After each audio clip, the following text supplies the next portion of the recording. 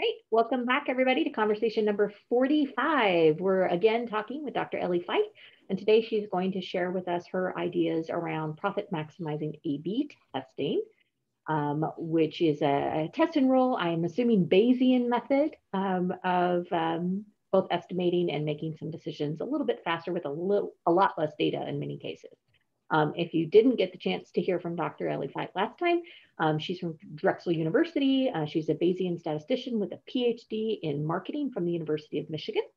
Uh, she teaches data-driven digital marketing and marketing experiments at Drexel. And if there are any professors out there, we'd love for you to learn from Elea and start doing more A-B testing for businesses in your marketing and business classes so that we can hire those students uh, with a more knowledge of practical world business stuff like Elea does. It's, it's really quite impressive. Um, and she does this teaching by making technical material approachable and accessible. As you can see here, I have an um, uh, is.gd link. Uh, so it's just is.gd forward slash test and roll. And this will lead you to the uh, a really great um, Twitter thread that Elea wrote up that kind of explains some of this concept. So I encourage all of you to, to read it, share it. Um, and uh, if you have questions, I'm sure um, you can engage with Elea there and of course on the TLC Slack channel. So thank you very much, Elea. I will stop share and um, I will let you take over. Here we go. And of course, Zoom rearranges all the windows in a seemingly random way. Share, you're like, ah. let me rearrange everything. All right. Um, I'm not following the uh, TLC um, Slack. So if there's it. something that you want me to address from over there, just let me know, Kelly. Absolutely. All right. So we're going to talk about um, a project I've been working on for a couple of years. Actually, Dylan heard a sort of early sort of, you know, brain dump of this project. Um, but it's it's now more or less done and i'm excited to talk to you guys about it today. Um, this is essentially the less technical version of the twitter thread that kelly showed you. So if you want the more technical version head to the, the twitter thread. Um, all right so this was all motivated by um, the typical uh, A B test setup screen that you are confronted when you do an email test. So, lots, all the email A B testing tools have a screen that looks something like this. We'll send version A and B to a random sample of recipients and then send the winning version to everyone else. And then you're confronted with this slider and you're like, oh, should I make the test a little bit smaller? And then I get to send the winning version to more people, or should I make my test bigger? And then I get to send the winning version to smaller people, to fewer people. And we call this kind of a test a test and roll because we're not just testing, we're testing and then we're going to do something based on the results of the test. We're going to roll. Um, so the second you know, the gray bar here is the visual representation of the roll phase, or sometimes I'll call it the deploy phase. So there's the test phase and the deploy phase. And you might think this only applies to email, um, but it in concept applies to websites too, because you're going to run to, you know, an A-B test on your website, and then you're going to choose one of those versions and and deploy it maybe for say a quarter until the next refresh that you do on that page, or maybe it's years that that page is going to stay the way it's going to be but whatever that time frame is would be your deploy phase. So um, the question you're confronted with here is how should i set that slider right what what exactly should the number of people that i send it to a and b so just putting a little bit of math notation on it um, the problem that we're facing is to choose n what I'm going to call N1 star and N2 star to send the treatments to. Then we're going to collect data on the response. And then we're going to roll, which means we're going to choose a treatment to deploy to the remaining capital N minus N1 minus N2. Now, in some cases, N capital N is a little fuzzy exactly what it is, but for you know for our purposes here today, let's just imagine there is a total number of customers. There is a total um, expected amount of traffic that I'm going to get at my website after deploy. There is a total expected number of email addresses that I can send the winning version to. Um, and it turns out this is a Bayesian decision problem. So um, those of you who aren't familiar with it, you can read really, you know, tediously mathematical textbooks about it. But the idea is that we're actually going to make a decision that maximizes the profits that we're going to earn. So that's why we call the paper profit maximizing A B testing. We're going to make a decision about N1 and N2 in a principled way based on profit. In order to get traction on that problem, I actually need to know a little bit something about how the treatments work. Um, you basically cannot get any traction on the problem without making some kind of statement about what is the range of differences I am likely to see between A and B. But this group here, we've been squirreling away data on tests for years and years now. So we can use that data to kind of inform what is the range of differences that I'm likely to see between A and B. Um, and so for most of the rest of the presentation, I'm going to use an example based on two, uh, about 2000 website A-B tests that were run by a number of different um, testing groups on a large software platform that facilitates website A-B testing. So you can plug in your name of your favorite website A/B testing tool in there. They actually took all of the tests that they had facilitated through their software and gave us that those 2000 tests. And what's plotted here is the lift that we see in those tests between A and B. And it's kind of symmetric, meaning what people label A and what people label B seems to flip like one, sometimes A is better, sometimes B is better. Um, but we're seeing lifts kind of in the range of um, 50% down to 50% up. Uh, so taking that data, um, I can tell you that the average uh, conversion rate among all those previous tests. Oh, you guys probably care. Um, conversion here is defined as clicking to the next page. So in, in order to kind of look at these 2000 tests in a way that's kind of similar across all of them. We're just going to say the conversion rate for all of these tests is clicking to the next page. So the, the click through rate across all these tests averages about 0.68 with a standard deviation of 0.03 across all the different treatments in all of these tests. Um, so the, those old test results you've been squirreling away can kind of give you some information about the range of differences you're likely to see. Um, I have a student who uh, is working at a startup company and has every single newsletter that they've ever run, and they always run an A/B test on the subject line every time they they send out that newsletter. So he took the collection of a couple hundred of those that he had and used it to to start his process. I'm just using this as an example. You could plug in your own data. Maybe you're a much better tester than these people in these 2000 tests and you find treatments that are just through the roof in lifts. Um, but this is what we kind of typically see. I'm just, I just wanted to ask kind of the group, does this feel about right that most A-B tests show no result? They're kind of there in the middle with just a few winners on the tails, you know, winners and losers. That, yep, that's what Dylan's typically see. So we're going to start with that. All right, now, once I have that, that information from those old tests that I've been squirreling away, I can actually compute my expected profit from the test and roll. So I'm going, I'm looking at all the profit, all the conversions I get in the test stage, plus all the conversions I get in the roll stage.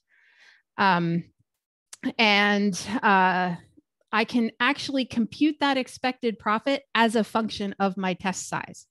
So th- here's a graph of that. I won't show you the equation. It's in the paper. It's got lots of Greek letters. It's fantastic. But um, if you're not into Greek letters, here's the graphical version of that. So as the test gets bigger, my total expected conversions goes up, up, up through the roof.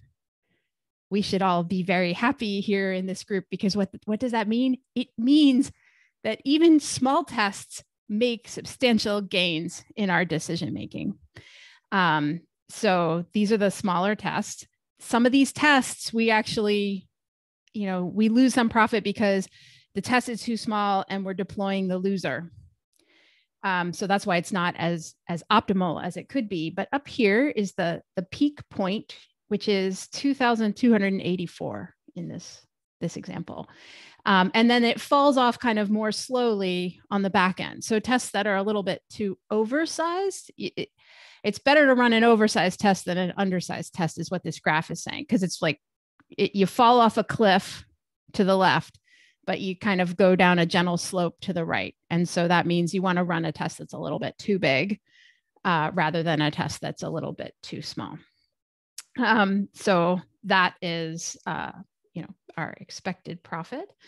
Um, and I can actually write, let me just back up this curve. I told you I wasn't going to show you the equation, but I am going to show you the equation because it's so cool. Um, so here's the equation. You just plug in um, the this, let's see. So I won't tell you what all the numbers are, but that's the formula. Let's talk about the uh, the more important things.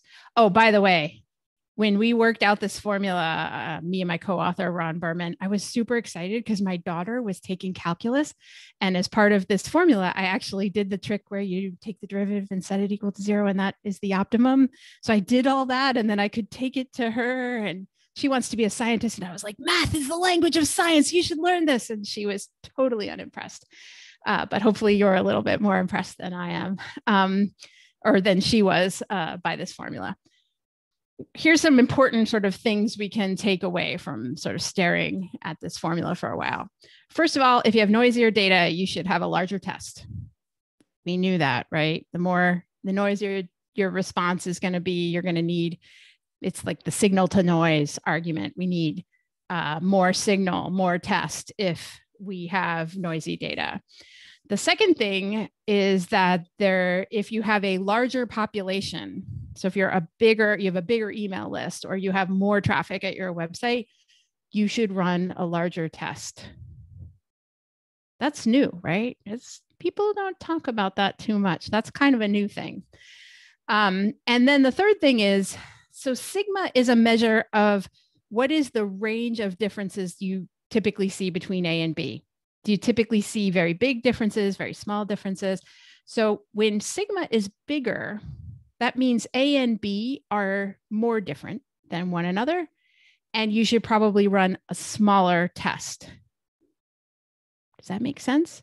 So the idea is if A and B are really different, and I'm trying to figure out which one to deploy, I don't need much data because I'm going to see right away if A and A is just way outperforming B, then when I run a small test, I will see uh, that I'll see very quickly that A is performing better and I'll deploy A and then I'll make all that profit.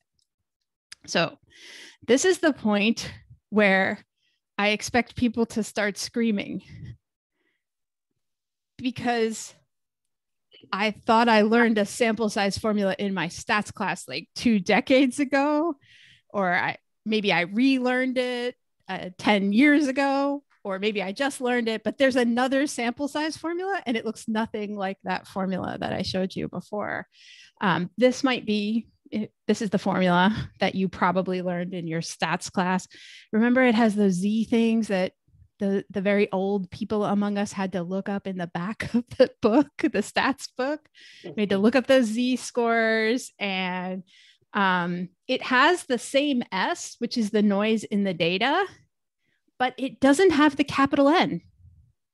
This sample size formula does not vary. This, this one, this is, we're going to call this the hypothesis testing sample size formula because that's where it comes from. It comes from this idea of we're doing this statistical hypothesis test that we want to have alpha type one error and beta type two. Remember all this stuff, right? Um, I didn't talk about any of that to develop my formula. My formula is the profit maximizing formula. This formula is the sample size formula for a hypothesis test. And so it doesn't have capital N in it. It basically says your test should always be the same size. Whether you have an email list of 100, 1,000, 10,000, 100,000, a million, it doesn't matter. You should run the same size test. And um, the second thing that's kind of interesting about it, I'll just flip a second. The, the main part of the S's in here are squared and then square rooted, which means it grows with S as a line. Here, the S is just squared, so it grows as a square, which is a lot faster. So basically, this formula requ- um, recommends much, much larger sample sizes as the data gets noisy, and if you don't like looking at equations as much as I do, let's just look at a picture of it. So here I've plotted the required sample size from a hypothesis test. That's the dotted red line that's a little faint there. That's the that's the old school sample size formula that you learned. And this is my new formula, the black line, as a function of how noisy the data is. And if the data is not very noisy, it actually doesn't matter which one you use. They basically say about the same test size. But as the data starts to get noisy, the hypothesis test sample size formula goes through the roof. Well, not through the roof. It's not an exponential. That would really be through the roof. Um, it's a square, but it gets much, much, much bigger than the sample size um, that we're recommending that's profit maximizing. Um, and so this gets back to the tweet. In the tweet, I say, you know, have you ever computed the sample size formula and it was bigger than you could ever get? This sample size formula is recommending much, much smaller sample sizes. Um, so, you know, you might you might be looking at this going, well, I learned that other one in a textbook, and I tend to trust that the people who publish textbooks kind of know what you're doing. And at a very surface level, this this crazy woman from Philadelphia is telling me that I should use a totally different formula that she invented. And why, you know, why should I believe her? So let me try to kind of, you know, open up that box a little bit. Um, the traditional hypothesis testing formula is designed for science, I would argue. And in science, we want to know which treatment is better. And we don't explicitly consider the cost of the test itself. So we actually don't care about, um, you know, how, say, we're testing a new vaccine. We don't care how many people get saved from death during the trial. That's totally irrelevant. Um, we don't care how many people get killed as a result of the reti- trial because they weren't given the vaccine. That's also irrelevant. Um, what we really want to know is for all time, which treatment is better? Is it better to have the vaccine or to not have the vaccine? And so we use these very, very large sample sizes to make sure we have like truth for all time before we publish it in a paper and everybody believes it everywhere. And in the problem that I set up at the beginning of this talk, the email test, like you're going to test two subject lines on your next email.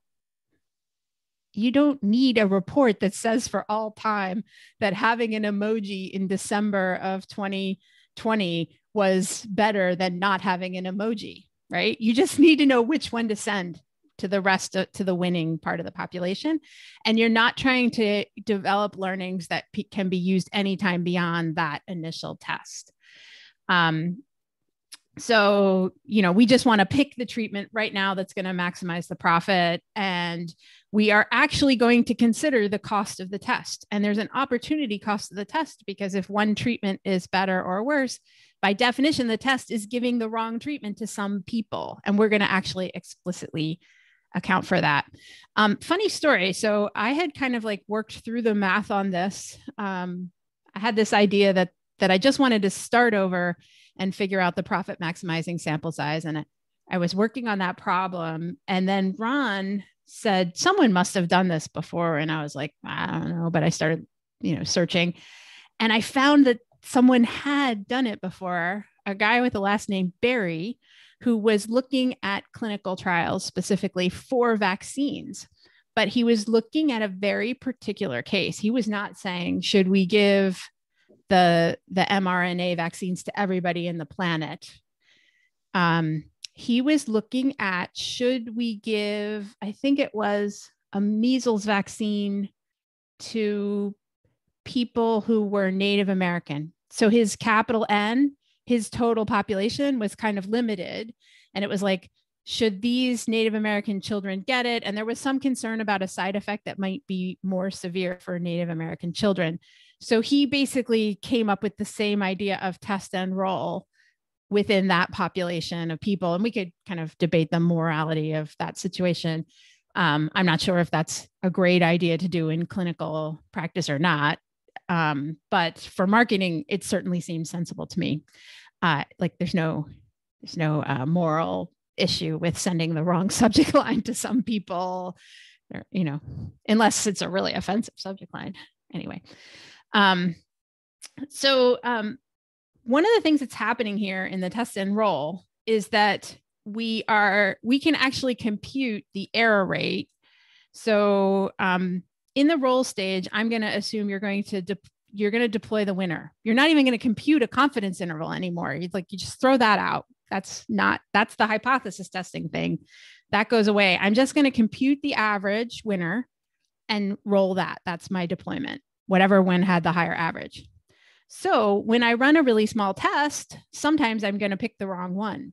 Like, for instance, if I run a test size of zero, then I'm going to have to pick randomly between A and B, and I'm going to have a 50% error rate, right? Half the time I'm going to pick the wrong one. And then as I run a bigger and bigger test, that error rate goes down. And so the error rate at the optimal, the profit maximizing sample size is about 10%. That is no longer an input. That's an output of the sample size formula. It says that is the optimal error. That's the best trade off between um, how big you make the test, where you're by definition giving some people the wrong thing, and how um, how what is the risk that you deploy the wrong treatment. Um, and so this is like literally a calculated risk that maximizes profit. Like we calculated what was the optimal risk, and the optimal risk here is 10%. Now, you know what the optimal error rate is for a hypothesis test? Well, not optimal, but the standard error rate is for a hypothesis test. It's 5%. And if we were to push down to, you know, this larger sample size, this is actually the, the hypothesis test. You can see that the, the this is the recommended sample size for the hypothesis test. And if you read across, it gets you the 5%. That's the, because that's the standard hypothesis test. But there's nothing magical about that 5%. So if you always thought like, why should my error rate be five five percent? This is an answer to that sort of puzzle. Like you shouldn't always be using five percent. You should use the percentage that makes sense given your costs and potential profits. All right, so this is the busy slide. I apologize for it. Um, it this table comes straight out of the paper. So let me walk you into it. Um, so I wrote this paper where I was trying to argue that it's a good idea to use this sample size if you have a test and roll kind of situation. And so I took the test and roll and I compared it to other things you might do. So the test and roll says run 2,200 people roughly in each group. And the hypothesis test says run 18,000 people and change in each group. And I actually computed how many expected conversions would you get if you did that? And uh, the approach I'm proposing gets 69,500 and you know 69,536 conversions. The hypothesis test gets basically 500 fewer conversions. So it's better. It's not like, you know, you know, don't you're not going to double your profits kind of better, but it's definitely better and it's a much smaller test. Um, there's a couple other things, uh, rows here that I put in because people sort of asked. So at the far end here, I have like do a no test. Just if you roll one at random, um, then you would get 68,000, right? You're even if you didn't do any test, you'd actually make quite a bit of money because you know the treatments that we come up with marketer as marketers are not like horrible, horrible. Optimization is about finding better than okay, right? So this is the okay. Um, this one at the far end is perfect information. Is um, it's just like a, a, an ideal that we could never achieve, which is what if um, someone omniscient just told us which one to deploy? This is like the perfect hippo solution. Like they they literally know which one is the better one, and that would get you about um, 150 more conversions if you were omniscient. Um, this one here is kind of interesting. So, some of you may have heard of multi arm bandits. So, multi arm bandits are um, these testing algorithms that are sometimes called adaptive learning, where instead of setting a test and then a deployment, what you do is you run like 10 and then based on that you adjust from 50 50 to maybe 45 um, 55 and then you collect more data and you kind of slowly shift the proportion that are getting one treatment versus the other. So it kind of like takes something that happens like distinctly all at one point in time and shifts it more slowly. And in theory it should be able to do better than the test and roll because the test and roll is more limited. It's like you have to test and then you have to roll. Um, and we were kind of surprised uh, that so that fancy machine learning method only does about 5% better so and actually when i i sent this paper to someone at warby parker and they were like oh we love this paper because we had a bandit on our site and it was terrible to maintain because the, that machine learning algorithm has to interact with the website.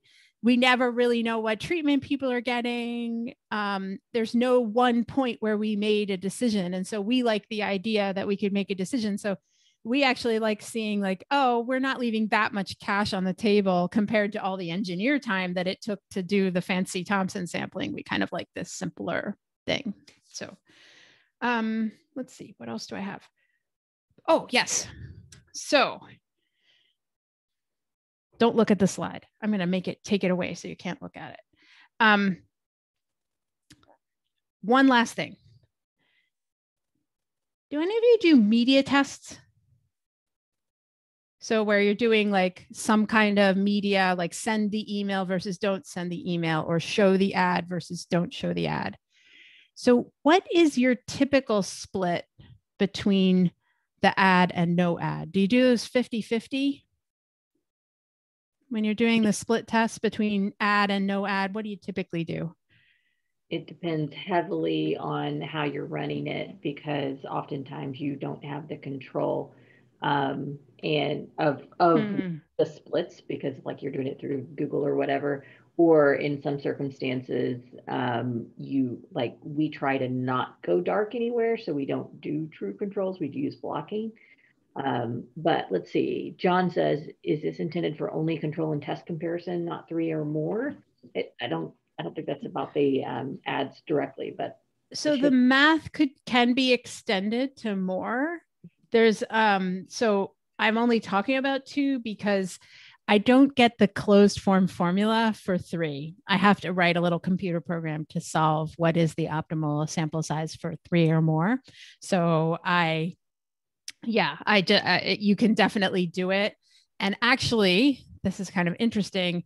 Thompson sampling's advantage gets bigger when you start to have a lot of treatments, like 10 or 15, because Thompson sampling will get you quickly to mostly running the best ones like the best two or three whereas the test and roll you you run a higher and higher risk of picking like the second best or the third best. You're not going to pick clunker but you're not going to pick the best one either. And the, so the thompson sampling starts to have a bigger advantage.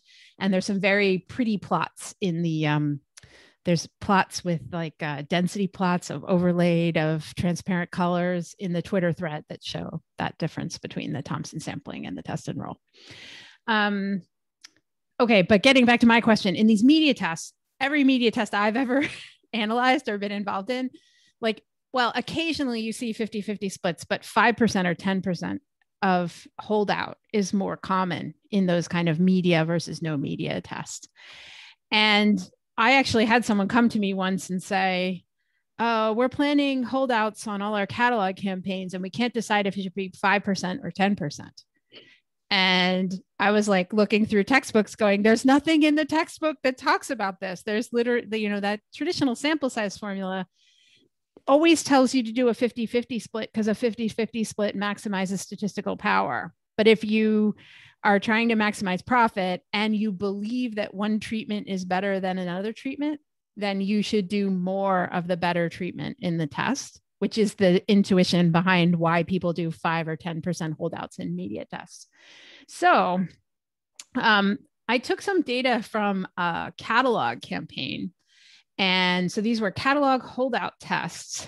And I took all the prior catalog tests and analyzed them. And sadly, on average, the catalog does not increase sales. It actually depresses sales a little bit. Some of these catalogs are really bad. And I think it's not that they're bad. I think what happens is it's a it's a retailer who changes out their product every month, and the catalog can um, serve to kind of give the the cl- customer the information that she doesn't like what's on sale this season. It's a clothing retailer, and so then she doesn't go to the store, and then she doesn't happen to find something else that she wants to buy.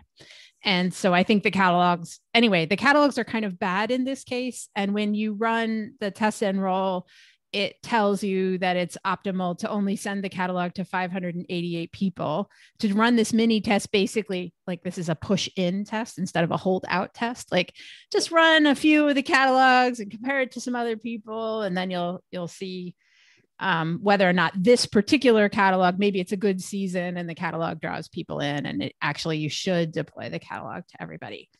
Um, so uh, it's sort of a backward situation but the you know stepping back from this specific table the cool thing about this is we can actually come up with an informed uh, prediction about um, how many should be in treatment and control when you think the treatment is good. Like when you when you have basically prior data that tells you yeah usually when we send an email it lifts sales. So we want to send you know what we want to do is basically send the email to more people and um, hold out fewer people.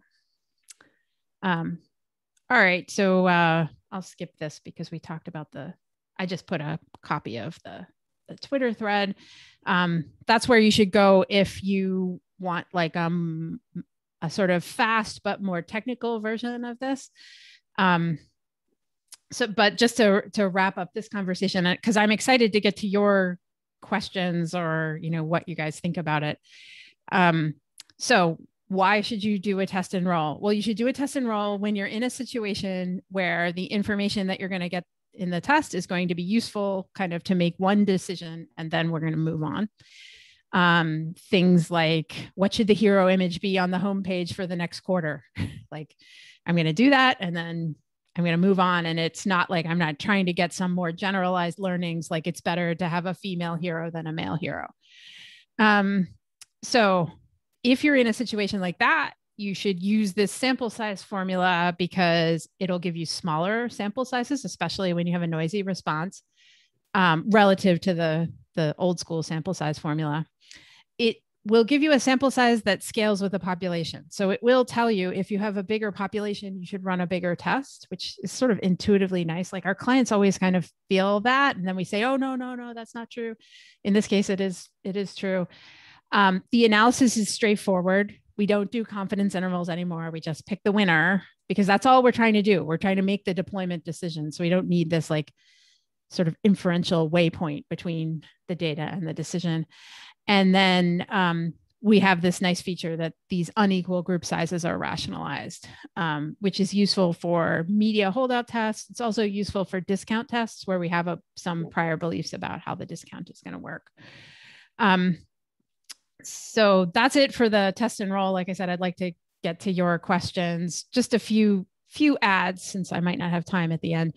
Um, I have two other papers about marketing experiments. One, um, we actually take multiple holdout experiments and pool them together, which allows us to get email and catalog responsiveness for each customer, which we can use going forward in targeting. Like we can say this customer is really catalog responsive, but not email responsive, and vice versa, so that we're sending the emails to the people who respond to emails and the catalogs to the people who respond to catalogs. It's hugely lifts uh, the profit from targeting over traditional like RFM type targeting.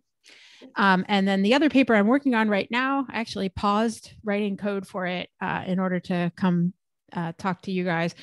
Um, but it's about increasing the power for experiments where the response is a number with many zeros, like sales per customer. I'm sure you've never seen data like that. I'm being sarcastic. I'm sure lots of people have seen data where your response, your main Y variable, is a number like sales per customer. It's, you know, it's often non zero, but it's often zero as well. Mm-hmm. Um, two other things. I have a bunch of uh, tutorials that are typically in R that you might be interested in, especially this first one here. It's so this is on my website, um, and there's a, a GitHub repo, and you can like download all the code, and it teaches you how to do a whole bunch of A/B testing related stuff in R, like uplift modeling and um, blocking and matching and a bunch of like kind of cool advanced stuff. And then um, uh, Tim had mentioned as we were getting started, I also have um, two books now uh, R for marketing research and analytics and Python for marketing research analytics that show you how to do stuff like segmentation using R or Python. Um, these two books don't cover A B testing, but they have lots of stuff that marketing people would be interested in. So um, I guess I'll go back to this slide and just open it up for like what you know what are people thinking i'm i'm curious about the reaction well i have a series of questions that have been asked over in the calls channel so um, if with your permission i'll start asking those first sure um, so Merritt asked, do you have a rule of thumb you recommend for calculating in with regards to website traffic? So the capital N, obviously. Yeah, that's, I mean, it's just going to be like your future traffic. So if, if you, and you, you know, you'd want to look at that seasonally if it's a seasonal, if it has seasonal traffic. So you'd want to look at, I plan to, you know, deploy this feature for the next three months, which is October, November, December. So I'm going to look at October, November, December last year as my, you know, the number of visitors in that period as my N. Um, but yeah, no, no magic formula for that, but that's what I'd recommend. Right. Nate, I see you're off mute. Do you have a question or you just off mute? Okay, I'll mute you. You're good. Um, the next two questions are kind of related, especially to your answer in regard to seasonality. So um, how sensitive are outcomes to your priors being accurate? Being, I didn't catch that, Kelly. How sensitive are your outcomes to the prior's accuracy? So the prior is pretty vital. And actually, the sample size will depend a lot on the prior. So um, that's probably one of the biggest criticisms that you could have of this is that it's extremely like all Bayesian methods, they have some sensitivity to the priors. Um, my argument is that you know in business we have priors so why wouldn't we use them to improve profits? But you're right. if if they're not actually your priors then um, or if your priors are inaccurate because say everything's changed over the you know covid year that that was. Yeah, yes, exactly. So one of the things um, I think we even mentioned this in the paper is you might want to blow up your priors a little bit, just like push it out and um, it, you know, to make an adjustment to to account for that. You know, I, when I say priors, priors are not based on past data. Priors are what you truly believe about the future. So you're allowed to adjust those if you think the past data has some difference from the future. Allowed to and encouraged to adjust them based on what you believe, right? Yeah, exactly. Yeah. So, um, so yeah, that would be, yeah.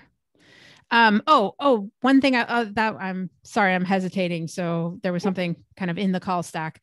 Um, don't forget that when you compute sample size with the hypothesis testing formula, you also have priors uh, in the form of this D so this D in the bottom of the formula is the difference that you want to detect, which embeds your prior belief about what different would be important to detect. And um, it's very closely related in my formula to this sigma of what kind of things are out there that I, I might want to detect. The main difference is instead of me requiring you to come up with that D, what the hell should this D be? Um, I instead I just say, tell me, you know, what profit you're going to make and and what range of treatments you have, and I'll tell you, I'll back into that for you, basically. So, um, so that's you know you you may not realize it but when you use this sample size formula you have priors too. In fact all experimental planning requires some sort of prior. Um, so it's one of the reasons why people who are interested in experiments ought to consider Bayesian methods because planning an experiment requires priors. For sure. Um, Merritt has another question, and I, it, I guess I guess it's relevant to both formulas. So your your small s in your formulas is the average standard deviation of baseline conversion rate. Is that accurate? Yes. So it would be p times one minus p if it's a conversion rate, but we wrote it as s because we have cases where the response is something else like sales or time on site that isn't a conversion rate. And uh, sigma is the average effect in the average effect size. It's the variance of the effect size. The variance of the effect size. Okay. Mm-hmm. So it's it's how so this is a plot of the lift in the mm-hmm. previous experiments. So these ex- I'm actually taking this was the A that was tested against this B. This is mm-hmm. the difference, and I'm plotting that. It's how spready is this curve. If this curve is really spready, like there's lots of things that have really big lifts in one direction or the other, then I should run a smaller test. If this curve is all bunched up, then I should run a bigger test. Important statistical term, spready. Yeah, sorry. Like if this spready. curve has high I variance. Sorry. Fantastic. No, don't change it. My goodness, everybody gets it. That's the whole point, right? Um, uh, Christian asks Does when you start the test matter given seasonality and base fluctuations? So I haven't thought about this seasonality as much as I probably should have. Um, your priors should probably bake in the seasonality. That's that's my answer. Priors should bake in the seasonality. So if you think so you should consider the, fact you're like adjusting what you expect to happen based on what you expect from the season. Yes, yeah, and so if I was a retailer that had a holiday season, I would make base my priors based on prior tests run during holiday Right. Like I know that the effect sizes on say media holdouts go way down um, when you're not in holiday. Like lots of things that work during holiday don't work at other times of the year. Right. For sure. Uh, Mackenzie asks, this will probably be an entirely different discussion, but if I have someone who's set on A-B testing prices and the product's price has always been the same, can't quite look at price to sales relationship, would you recommend using this style of A-B test? It's funny you bring that up. So last summer, during the middle of COVID, Ron and I started working with a small Israeli firm that was trying to set prices. And we were actually working on a totally different approach. Um, like it, it's the same basic idea of having priors, but the thing about prices is I know that the demand curve is supposed to have a certain shape like I don't know exactly what it is, but it's supposed to go down, right? When I raise the prices, it shouldn't go up. Yeah, and so yeah. so you can actually bring that into part of the, you know, part of the model so that you can strain it to do that. So we were using uh, what's called a Gaussian process, which is a way of um, we were using a method called Kriging, which is also a Bayesian decision theory method, which says what I want to do is find like the next best point that uh, does a good trade off between how much I know about that point. Like mm-hmm. if the price is 15, do I know a lot or a little? And it says if it's far from other prices I've ever tried, then I know very little. Very little. Right. And I want to trade off kind of my best guess of how much profit I will make there with uncertainty um, versus uh, you know, like I also get to learn there. So it, it sets up this same trade off between how much I learn versus how much I make. Uh, that was all very random, ram, rambly. I'm sorry, I wasn't prepared, Mackenzie, for that one. Uh, but you can. I wouldn't do exactly this for price to answer to get back to your original question, but I would do something like you could do something like this. There are approaches where you say, I want to test um, you know, I know it's safer to test closer to other prices and it actually help you decide what price should I test. Here we're not talking we're assuming the treatments are fixed. We've got A and B. In the case you're talking about, we could actually start to look at one of our decisions is what price to test next. So that's the problem we were looking at with this sort of small firm um, was, you know, let's start at $30 and then adjust down and up until we figure out what the you know the shape of the demand curve is. What the elasticity is. Yeah that's yeah fascinating. Um, all right I, I see some folks typing some questions in the tlc calls. Keep keep getting your questions there. I will ask them as they come across. Um, Elea i wanted to ask you so that the data that you all um, were able to get access to um, ironically you know you mentioned we have the data we're squirreling it away. Um, it's not always true. Uh, in my experience the vast majority of our clients, unless they have some sort of um, uh, learning library or a platform that stores all their data, and even in those cases, oftentimes the the data is stuck in like a PowerPoint deck or a slide deck, and it's not mm. in a nice, neat um, you know, everybody, all the data is the same. And, you know, one of the things you mentioned is that you looked at uh, next page click through rate so that you, because everybody had that data. Well, that's also not always the case. Um, right. Some tests right. are revenue based, some tests are this, and they they only pull certain metrics, so all the data is different. So, do you have any advice for um, you, uh, the data format that you would recommend people maybe start capturing and collecting and storing the data so that they can do oh yeah that's a good good question so i for every single test i would want to know you know what some record of what were the treatments that were actually tested and you know, where on the website or was this an email you know what kind of test it was um, and then just what was the response in each group? You don't need like the raw data, but like the summarized data. So the mean and the variance, or in the case of conversion, you just need the conversion rate um, for the two, two or however many treatments that you had. Um, yeah, that's that's it. You know who has this squirreled away? The email marketers do because their tool just has the perfect records of it. That's how I got um, started. I remember that data it was so rich. It was so easy to to make decisions. And then direct marketing has the data too. Um, right. Did a lot of that, but uh, and some big firms have nice like um so the group at Microsoft that's doing tests on like on software like Bing tests yeah. will have a huge they have like a a system where everything gets archived and it can get read in there. Um, and just to bring up some of the criticism of kind of this point, my point of view on this, um, I've been criticized by some of those folks uh, who point out that when you have that good repository, other people are going to read the repository and assume that that is going to be true in their situation as well. So you do need a bigger sample. If you're going to do that, this this only works when you're only going to use the information for this test because the the way I've set up the math, I'm maximizing the profit, assuming we will never use that learning for another reason. If you're going to use the learning for another reason, then it needs to be more precise, and you would need a bigger test.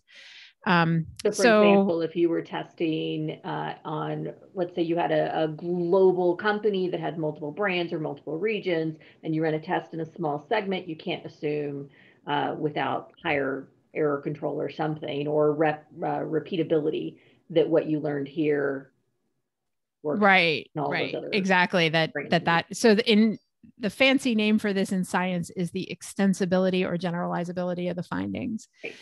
Um, and there's you know that's something to worry about that we're not worrying about here if that's, that's if that's, that's your plan. with your multi-arm bandits your thompson sampling you know they they're also not generalizable. Definitely. They're actually even worse in a way um, because they kind of like they actually create a confound in the data that makes it hard to analyze. There's a bunch of researchers who are actually working on like how should we and if we want to take generalizable results from a bandit how should we analyze the data? And um, that's not a trivial problem. Um, so it yeah another potentially downside of bandits. So in the ultimate ironies as we were having the, this just now discussion dylan asked the question that you just answered. So i wanted you to know he did ask the question and he was like and there's the answer. So you know the question he asked was for new features or business strategies that have large organizational implications if they win, don't seem like great places for this method because the focus is on rolling and not learning. Is that the takeaway? And then he's like, and there's the answer. If you want, to. yes, definitely, that is not a great method. Dylan is spot on, right? That you wouldn't want to do it in a situation where there yeah where you're going to try to use the learn like you're going to say okay we're doing this master test to find out if we for all time should use female heroes or male heroes that's looking for a generalizable finding that wouldn't so this wouldn't be appropriate and you'd want to use a larger sample size right and sure. like we always say start with the problem you're trying to to answer and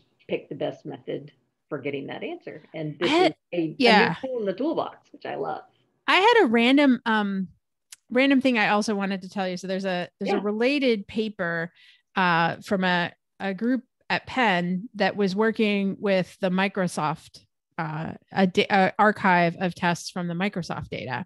Mm-hmm. And they actually found a funny thing about those tests, which is that they are what's called fat tailed. So most of the Microsoft tests show no lift, but occasionally you just get like the golden ticket just shows up. Right. And it really lifts things a lot. And that's a function of what Microsoft has chosen to test.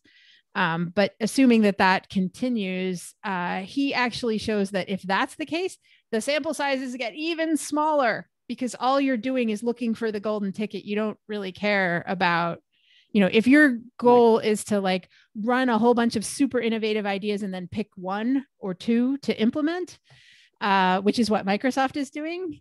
Um, so most of their tests are clunkers with a few things that are outstanding then you can run teeny, teeny, tiny tests.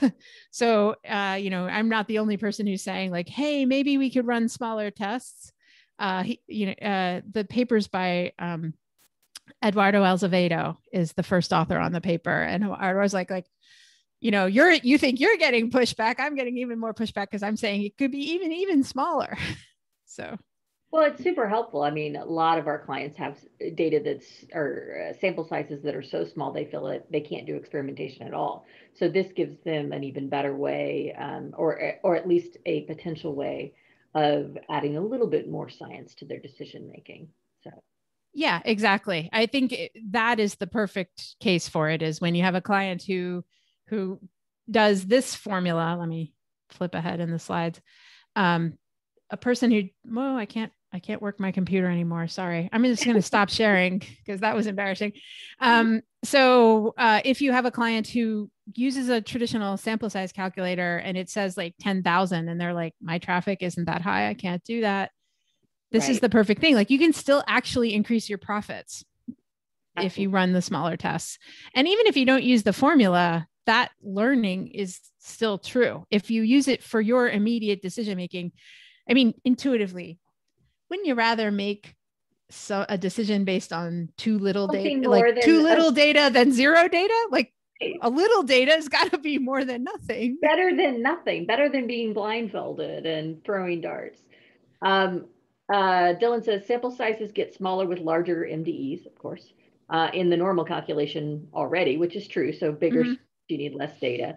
Um, and he said so i don't I'm not sure that this is a surprising thing. I think the thing that was surprising to me about your formula was the uh, adjustment of your sample size based on the population size. So larger needs yeah, more. But let me less. let me get back to Dylan. So the yeah. one of the interesting differences between the two formulas, this might get super technical, but that minimal detectable event is a point thing. And what I'm saying is, well, there's a whole range of things that could happen. And I actually don't care if I make mistakes when A and B are very similar. I don't care if I make a mistake. Um, uh, Matt Gershoff has talked a little bit about in yeah. some contexts, a type one error doesn't matter.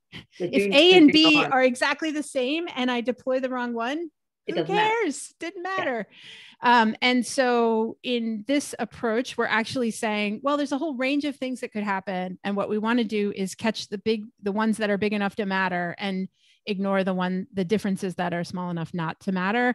And to do that in a systematic way where you're actually thinking about profit. Uh, so that is one sort of technical difference is that minimal detectable effect like if you're looking for bigger things yeah the sample size is going to be smaller. But what it doesn't allow you to do that we can do is make that trade off between like well how what you know how small is a fish that's too small to keep? Yep. or too small to try to catch i guess is the best way to say it. Which is one of the hardest questions that you know we always ask how big of a lift do you need to see to make a decision? I don't know as long as it's better. Ah that gets you nowhere. It's a zero cycle um, Merritt asks, and this will be our last question because we only have one minute left. Um, does this formula apply the same to both binomial and continuous metrics? So, uh, technically, the answer is no. You'll be interested in the appendix in the paper. So, actually, the reviewers asked us that question, um, and it turns out like the the continuous formula can approximate the binomial for large samples, right? The the binomial eventually becomes a normal asymptotically. Fancy words. Um, so, if you have a big sample size, it doesn't matter. Right. Um, but if you have a smaller sample size, it does matter. And actually, uh, so we have in the appendix and in the code that's on GitHub, if you want to see the code, um, we have a function that does it specifically for the binomial case. And then in the appendix of the paper, there's a, a table that compares the two. And it basically only doesn't matter so long as you're above like, it was a couple thousand. If you're below a couple thousand, then you do want to check out the appendix. All right, Elea, thank you so much. Um, with your permission, I'll send out the PDF of your presentation today. Sure. Um, and Enrique did ask is where your paper is published and if it's open access. It is not open access, but if you go to my GitHub, there's replication code and I snuck a copy of the paper in there too. you didn't hear it here and it doesn't live on YouTube. Okay. Right. Thank you so much, Elea. I really appreciate it as always. Great job making complex ideas easier for everybody to understand. Um, I'll uh, and Merritt has already uh, um, shared your uh, link to the paper. So thank you again, and uh, recording will be posted probably later today. Okay. Thanks. Bye. Thank you. Bye all.